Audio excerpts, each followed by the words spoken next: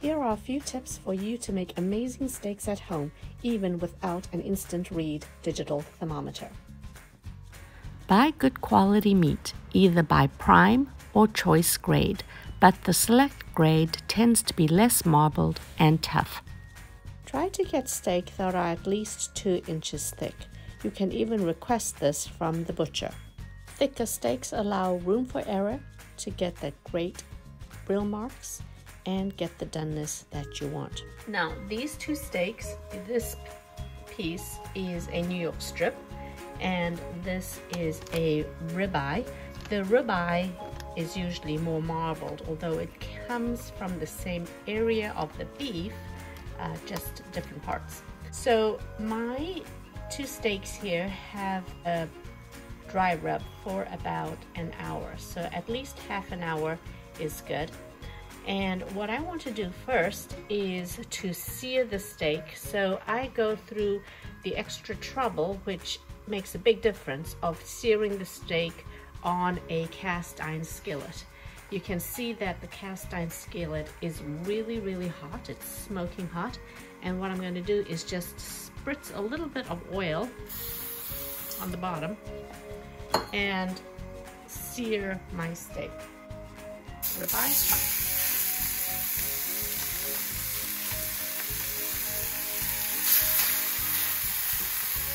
And searing basically seals the meat fibers on the outside and all the juices are inside and as the steaks barbecue none of the juices will escape. So I'm going to quickly sear it on the side and I like to also um, render a little bit of the fat. So I do put it on the fat so that it can render.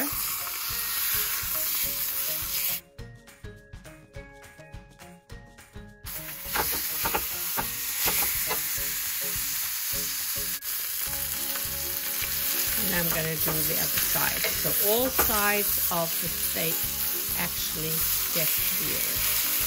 Okay, and once I've seared this, then I'm going to be taking it out to the barbecue where I am going to grill it for a few minutes. Now I'm going to put it on the barbecue.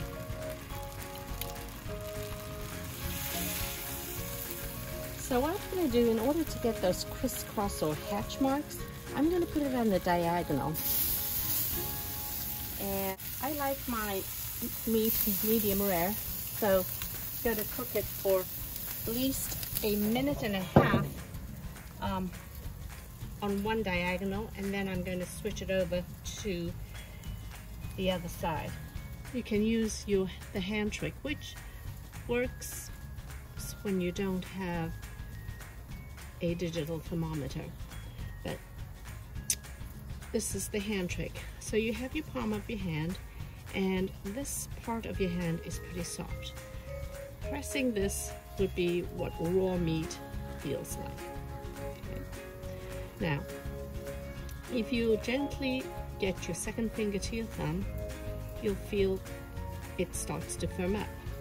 So this is supposed to be medium rare. This is medium. And this is medium well. And this is well done. So what I like to do is when I press my meat, this is the ballpark squishiness that I'm trying to achieve. So let's go ahead. It's been about a minute and a half. I'm gonna take my steak and I'm going to turn it to the other side.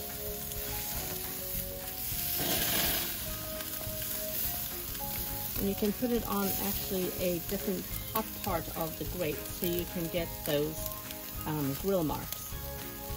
I'm going to do that for a minute and a half. Another minute and a half went by. I'm going to flip this over.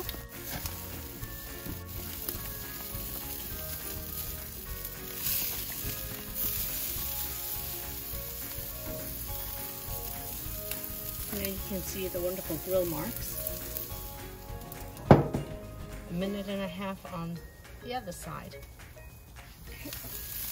flip it to the other diagonal. Now, when you squeeze the meat this way and you feel this, this is what you're looking for. So I can tell that this one is probably medium rare, more on the rare side, just the way I like it. I'm going to remove that. This one is a little softer, but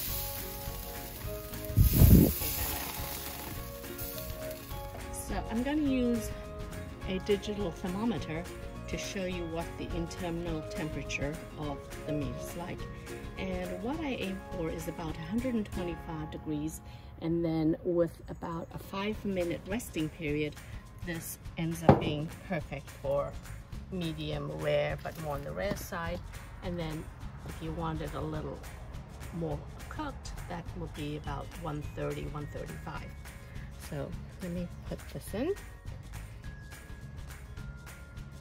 So right on the money, about 124 degrees. Okay.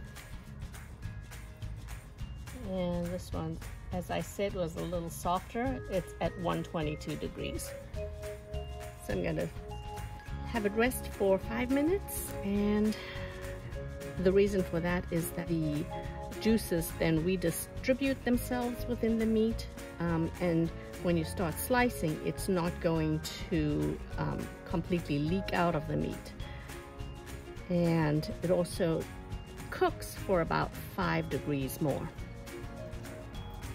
Okay, so the moment of truth. Um, the way I just mentioned on how to cook your meat is a way that prevents you from having to continuously slice your piece of meat on the barbecue, which ends up allowing your juices to escape, resulting in a somewhat of a drier uh, steak. But here is where you just felt it with this part of your hand and depending on what you desire you can somewhat gauge how cooked you want your meat and whether this is going to be um, the right meat doneness for you. Let's go ahead and cut. Uh, this is the New York strip and what I'm really looking for is medium rare but more on the rare side. And there you have it. You can see it's a little blue there. And then this is the ribeye which we know it's going to be a little less cooked just because it's softer. And there you have it